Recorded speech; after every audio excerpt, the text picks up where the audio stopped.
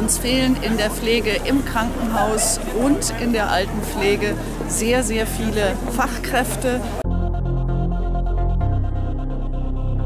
Im Nachtdienst eine Pflegefachkraft von 9 bis 12 alleine nachts für 84 Bewohner und dann eine Nichtpflegefachkraft auch noch zusammen. Dann ab 24 Uhr bis 6 Uhr, das ist zu zweit fast nicht mehr menschenwürdig.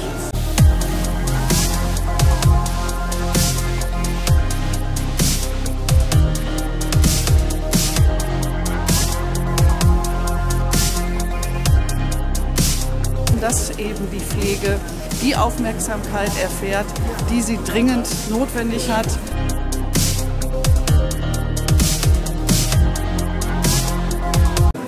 Wir sind eigentlich rund um die Uhr für alle da. Wenn es uns nicht gut geht, muss es aber den Bewohnern gut gehen. Und dann stellen wir uns eigentlich in den Hintergrund und unsere Gefühle und sind für den Bewohner oder seine Angehörigen zuständig.